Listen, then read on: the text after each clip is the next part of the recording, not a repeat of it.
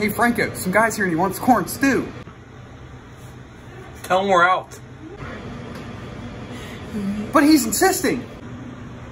Fine, I'll do it myself. Aha, one green scrubby for added bite. Two clear lids to keep it all together nice. A dash of cow's milk for a creamy bath. And a splash of tuna, cause tuna is gas. One corn stew for the man who desires. And if he's wondering, yes, we hire. This isn't corn stew. Look again. Whoa.